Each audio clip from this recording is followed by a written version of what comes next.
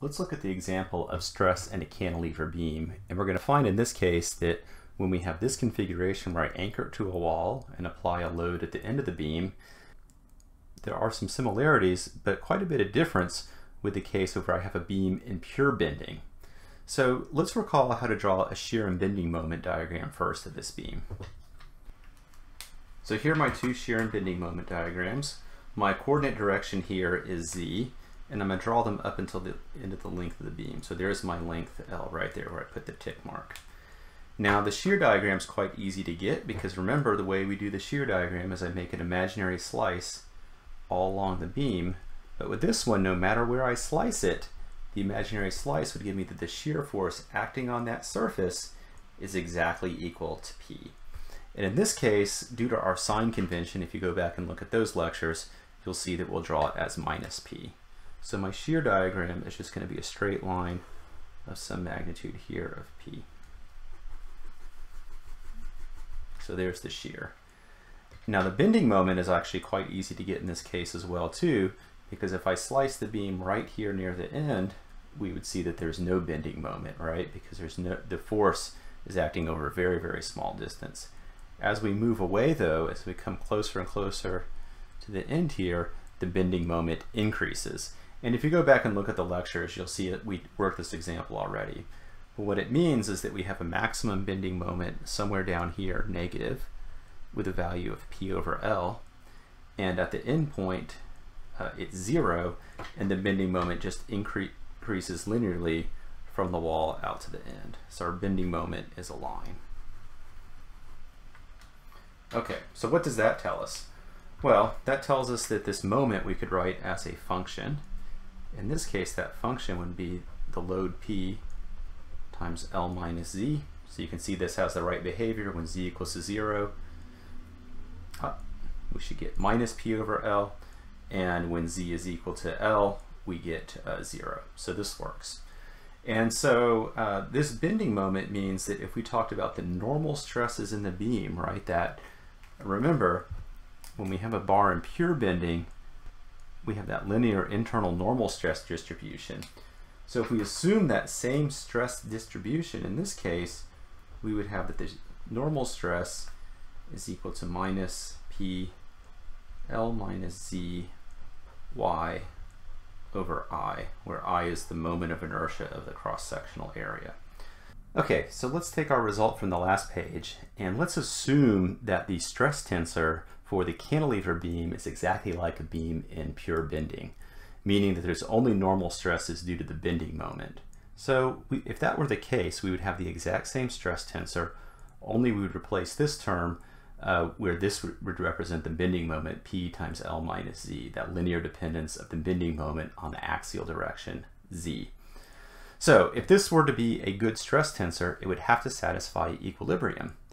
And if we go back to our equilibrium equations, I don't have to consider some of the forces in the x or y direction for this tensor uh, because this column is zero and this column is zero, or likewise the rows are zero by symmetry. I only have to consider the z equilibrium equation. So let's write that out.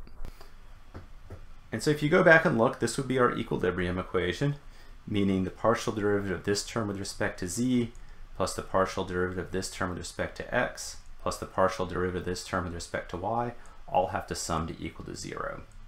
Now, if this were true, it would be pretty trivial. These two terms would just be zero. But let's look at the partial derivative of the normal stress with respect to z, and we find instantly that it's not equal to zero, but it's equal to py over i.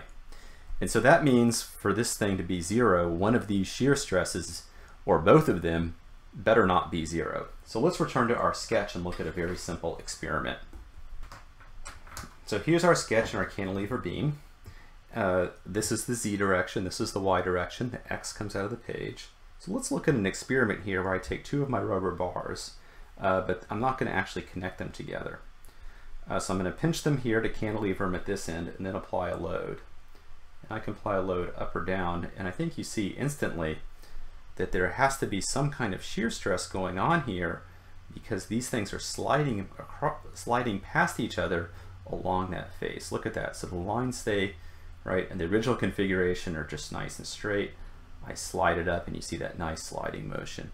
If I pinch this and hold it tight and I still push it, we still see there's a tendency to want to slide in the middle there, right? Those lines are coming apart from each other. So that indicates that there wants to be shear stresses along these surfaces. So that certainly seems true that one of these terms better not be a zero. There's, there's a lot of evidence of there being shear. Now if I stack the beams this way, and again I do repeat the experiment applying the load up or down, as long as I push equally on our, my two beams, there's no appearance of sliding on the face which is represented uh, by the face showing out of the page. So there's clear evidence of shear in one of these planes and clear evidence of no shear in the other. So now we just have to be a little bit careful about which of these terms is we expect to be zero, so here and here, and uh, which we expect to not be zero.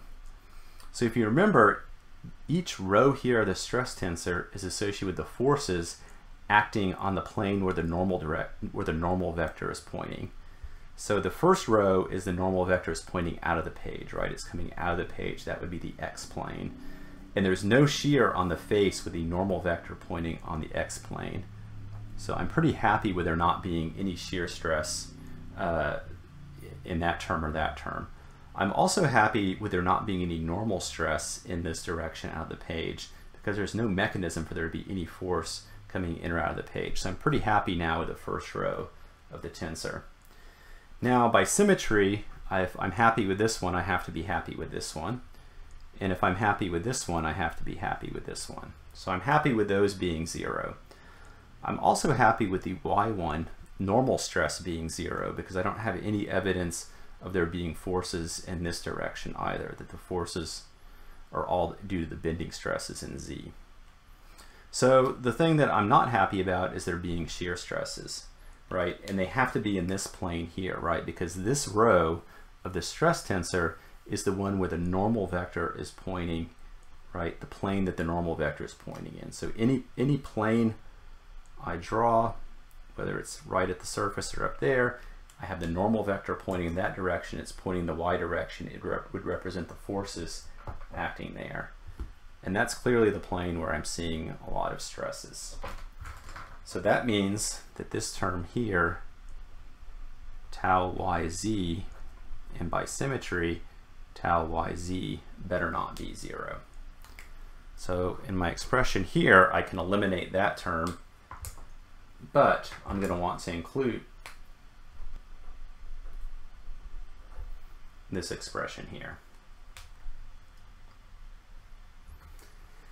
So this is a pretty easy expression to integrate uh, because I could just integrate once with respect to y. That means that what I'd be left with is tau yz. I'm going to move this to the other side of equation, so it's minus p y squared over 2i plus some constant of integration. And so how would we determine c? Well, we'd have to apply some kind of boundary condition.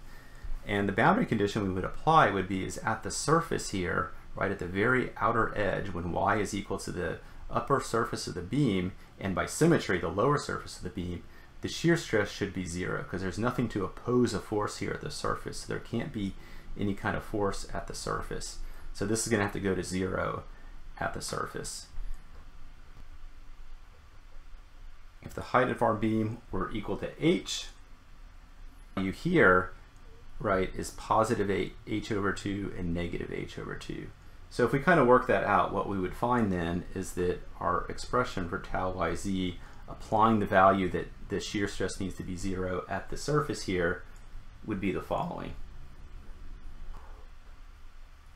And this would be our final result. And we can, we can check that it works because if I'm at a positive h over 2 or negative h over 2, the shear stress goes to zero. And that means when I'm in the center, when y is equal to zero, the shear stress is a maximum. And so that means the shear stress distribution is going to be parabolic across the cross section of this beam. So it's going to be some kind of parabola looking shape with a maximum being at the center. Okay, so let's provide a little bit of interpretation here and see if all this makes sense. So this would be our stress tensor. We know this satisfies the equilibrium conditions.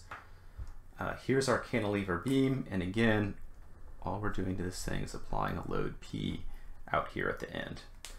And, and we'll assume a simple cross section that is symmetric, and so therefore our y equals zero line or our neutral axis would fall right along the, the center line here. Okay, so let's imagine that we now take a slice here. So random slice, uh, and we slice our beam here. So now I've taken the beam and I've cut it right at that point. So now we've sliced it off. Uh, that means our normal vector of that surface is pointing in the z direction and would have the would be zero, would be 0, 0, 1.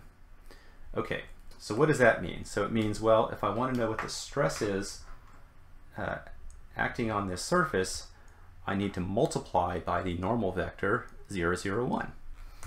So that means the stress vector acting on a sur surface sliced in the z direction would be, remember, I just do the matrix vector multiply, so that means the x component of the stress vector is 0, so there's no force in or out of the page. The y component of the force, which is would be acting upwards, would be h over 2 squared minus y squared, all divided by 2. And the stress on the z-plane would be L. And the normal stress in the z direction would be L minus z times y. And this whole vector would be multiplied by the factor p over i. All this means is that we have a normal stress uh, acting here, and this stress, just like we've seen before, is going to be uh, this linear stress distribution, which is going to increase with y and uh, be just be linear in y. So we're going to have a stress distribution that would look something like this and that would be in the normal direction.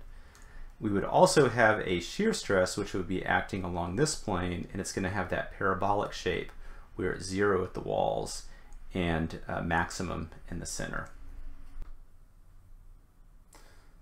So let's think a little more deeply about the shear stress that's acting along this cut right here, right? So let's think a little bit about that.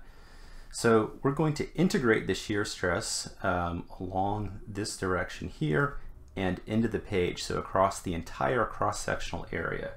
So what that would be like is if this were our beam, we would be integrating across this entire area. So we integrate with respect to y and with respect to x. So let's do that real quick. So I'm going to integrate twice, and I'm going to pull the p over i out, and the 2 as well and I'm just going to integrate h over 2 squared minus y squared dy dx. And our limits of integration for y are going to be from minus h over 2 to h over 2, and for x, 0 to b. So b will be the distance into the board. So I can integrate this with respect to y, uh, because I'll just pick up a y here. This will turn into a y cubed over 3, and I have to do a little bit of the turning of the crank. But if I do that, what I would end up with is P over I times 1 12th BH cubed. And if we remember, for a rectangular cross-section, the moment of inertia I is equal to 1 12th BH cubed. So that means the integral of the shear stress across the, this uh, kind of surface, a slice where I've made a slice in this direction would equal P, which is good news, right? If I were to slice this beam and I wanted to draw a free body diagram from this part, if I were to draw a free body diagram of a sliced beam, I've got P acting down, so it means I need to have P acting upwards to hold the thing in place. So it's good news that I get that result. So now let's take a slice along this direction, right down the middle. So that means what I want to do is I want to ask the question, what are the forces acting on this surface where the normal vector is equal to 0, 1, 0. So it's what are the forces acting along this imaginary surface where I've kind of sliced the beam right down the middle. Well, so all that means then is to find the stress vector acting along this surface, I just need to take the product of my stress tensor with my normal vector n. And remember, I can put I can think of it as a row or column matrix vector multiply with the normal vectors either on the left or the right, simply because the matrix is symmetric, so I can be a little bit sloppy here. So what we want to do to compute the stress vector is this operation here. So we see the x component of the vector is equal to 0. The y component of the vector 0 and 0, so those are 0. This is a number, but it's times 0, so the y component is 0. The z component, however, is going to have a value.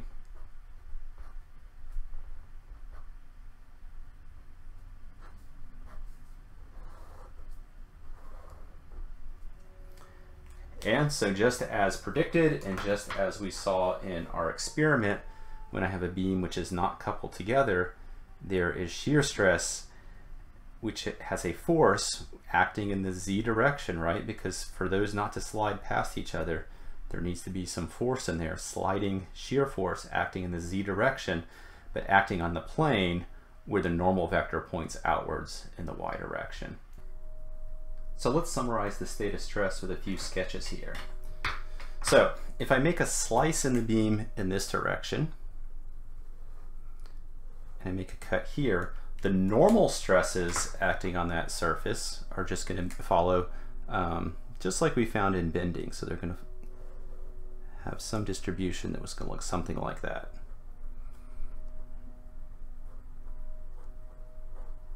Where when I pull this direction, the top here is going to be in tension, the bottom is going to be in compression. Is I, if I take a slice a little bit closer to the end, however, so like maybe say location here, the normal stress distribution is going to be the same, but the magnitude is going to be quite a bit, bit less, right? So we're going to have something that looks like that So the same linear function, but much lower in magnitude as we move towards the end because the bending moment is maximum here and it's zero at the, at the very end where the force is applied. Now the shear stress distribution is a different case. So the shear stress, remember from our shear and bending moment diagram, the shear force is constant as we move along the beam. So if I take a slice, uh, let's say I take a slice here in the middle, uh, this stress along this surface in shear would be the same at this location, this location, and this location. And this stress distribution that we see is that parabolic one where it's kind of maximum in the middle and goes to zero at the walls. But if I take this shear stress here and I integrate it over the area, I get the load P, right? So that has to, this force here has to balance exactly what um, this force here has to exactly balance the shear stress here. And the way that I've drawn the forces here pointing downward mean they're acting on that face, right? So if I cover this here, those are the stresses that are acting in that direction. If I split the beam in half, of course, we have equal and opposite forces. And then what we've seen is that since, uh, if we go back to our little differential element, our, our little cube that we always drew, and we made arguments about what are the forces acting on this cube, we always said that by symmetry, we always had something that looked like this, right? And so the, the shear force that's acting on this plane has to equal one acting on this plane. So the distribution of stress acting along this plane here is going to be a constant because remember the shear is constant at every cross section, whereas the bending increases as we go from the end back. And just to remind yourself with our little model here, when I have these two things connected here, the shear stress right here along the middle is exactly related to what, how we see those two parts want to slide past each other. And this is different than we see when we have a pure moment, because when we have a pure moment, our pieces bend together, there's no sliding in there. So we only have the shear in this kind of cantilevered type configuration.